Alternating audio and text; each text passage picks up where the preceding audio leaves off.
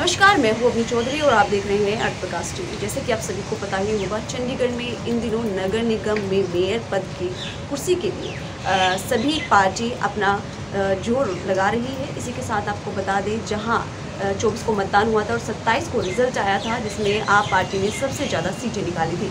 चौदह सीटें निकाली थी तो वहीं बीजेपी ने बारह सीटें निकाल के और एक पार्टी अकाली दल ने निकाली थी। इसी के साथ कांग्रेस पार्टी ने आठ सीटें निकाली थी।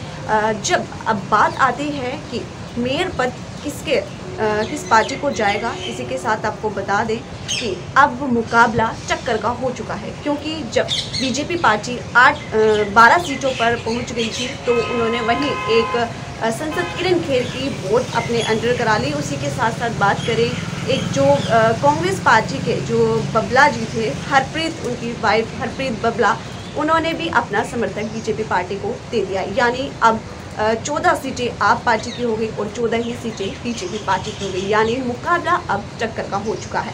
इसी के साथ आज हम आपकी मुलाकात करवाएँगे कांग्रेस पार्टी के youth general secretary Ranjot ji. पहले तो आप हमें ये बताइए कि पार्टी में इतना फेरबदल चल रहा है, खरीद फरोख्त का मामले चल रहे हैं, उसके ऊपर आप क्या कहना चाहेंगे? नमस्कार जी। देखो जिसने पार्टी जो ज्वाइन करनी होती है जी। उसको इलेक्शन से पहले ही करना चाहिए था ना कि इलेक्शन के बाद। ये तो एक तरह का लोगों को धोखा देना हो गया जिन्होंने अपना अपने दिल से या भरोसे पर उस पार्टी को वोट दी। पर चुनाव जीतने के बाद आप पार्टी बदल देते हो।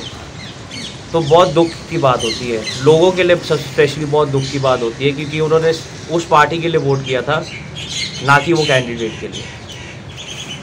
मंजूत जी जैसे कि आपकी मदर चंडीगढ़ से वार्ड नंबर बाईस से कांग्रेस के प्रत्याशी बलजिंदर कौर जी खड़ी थी। आ, तो वहीं अगर आप बबला जी की बात करें जो कि आपके मामा जी हैं तो उनका एकदम से बीजेपी को समर्थन देने के पीछे क्या कारण रहा होगा? वो तो आपको आप पढ़ ही रहे हो सारी अखबारों में। लोग कहते हैं कि शायद पैसे के लिए करा है। शायद उनके बेटे को हरियाणा में नौ, सरकारी नौकरी देने के लिए करा है।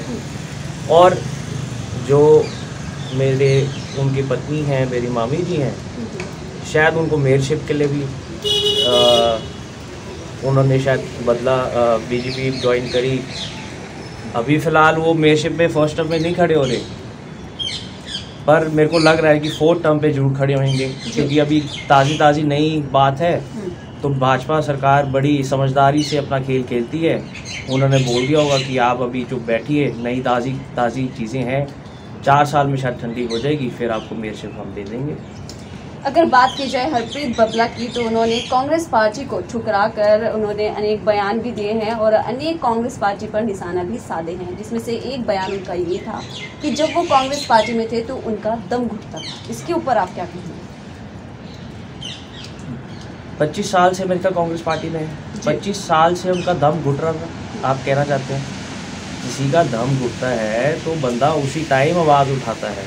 ये नहीं कि इलेक्शन जीतने के बाद उठाता है। ये सारी प्री प्लानिंग थी। उनको ये था कि मैं, जो हमारे प्रधान हैं, सुभाष चावला जी, जो बहुत अच्छी तरह उन्होंने अपना किरदार निभाया इन इलेक्शनों में, हार जीत तो हमेशा लगी रहती है। आप किसी एक बंदे पे इल्ज़ाम नहीं लगा सकते।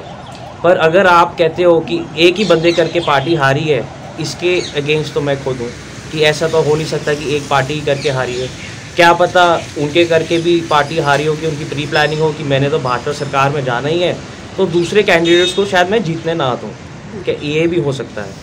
और अगर इन्होंने भाजपा सरकार ज्वाइन करनी थी तो इलेक्शन से पहले ज्वाइन कर सकते थे।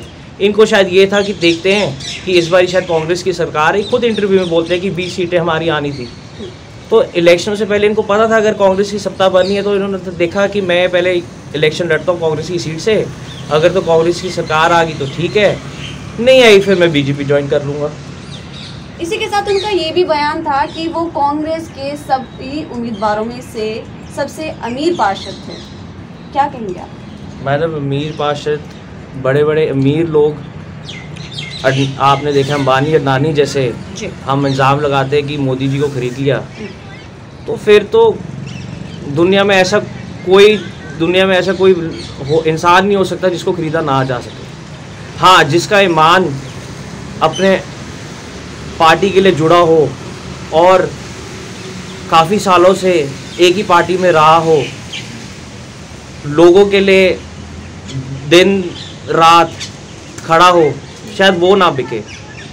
पर ये तो अब साबित करता है ना कि तो आप क्या कहना चाहते हैं कि जिस हिसाब से बबला जी ने एकदम से जीतने के बाद पार्टी बदल ली है कांग्रेस पार्टी को ठुकरा दिया है। आप भी यूथ कांग्रेस के प्रेसिडेंट है, जनरल प्रेसिडेंट। आपका क्या सोचना है कि क्या कारण रहा होगा जो बबला जी ने एकदम से ही पार्टी चेंज कर ली कहीं उसके पीछे का कारण ये तो नहीं कि कांग्रेस पार्टी की आठ सीटें आई हैं और अन्य जो पार्टी हैं, उनकी ज़्यादा सीटें हैं और उनके मेयर बनने की ज़्यादा संभावना है।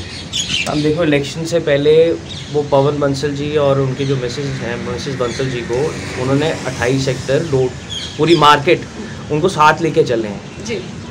यहाँ तक इन्होंने ये भी बोल दिया था कि ये राम सीता है मैं इनका लक्ष्मण हूँ। अब तो ऐसे लोग कह रहे हैं कि ये तो रावण निकले उनके। तो अगर इन्होंने ज्वाइन करना था तो इलेक्शनों से पहले करते। इलेक्शन के बाद ही क्यों?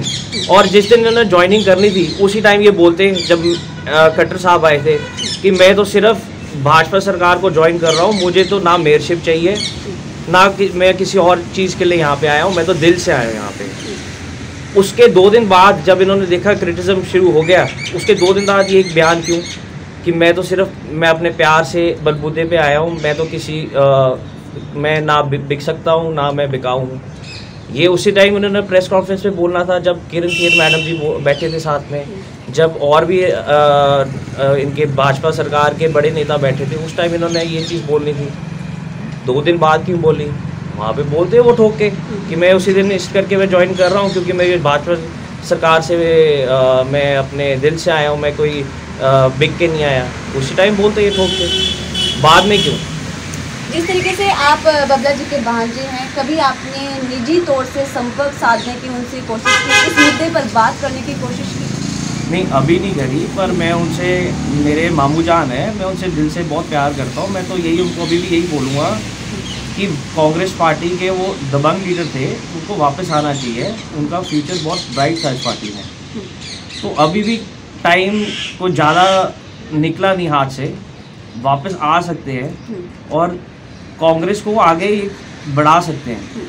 अगर ये सोचे कि हाँ अभी ये कांग्रेस पार्टी डूब रही है और मैं नाव से छलांग लगा दूँ तो ये तो मेरे ख्याल से ट्रू लीडरशिप की बात नहीं है। एक ट्रू लीडरशिप वही बंदा होता है जो डूबती नाव पे रहे और अपने बाकी साथियों को भी बचाए। यानी आपका कहना है कि बबला जी को कांग्रेस पार्टी में वापस आ जाना चाहिए। अगर वो इनकेस वापस पार्टी में आते भी हैं तो क्या कांग्रेस पार्टी उनको अपनाएगी? देखो वो तो अब हाई कमांड के ऊपर है पर मेरे ख्याल ज़रूर अपना सकते हैं वापस कोई इतनी बड़ी बात नहीं है। अभी भी अपना सकते हैं। अभी आप हाल ही में आपने देखा है कि एक एमएलए जो पंजाब से भाजपा सरकार में गए थे, वापस दस दिन में, हफ़्ते के अंदर ही वो कांग्रेस पार्टी में वापस आ गए। दिल से उनका स्वागत किया गया।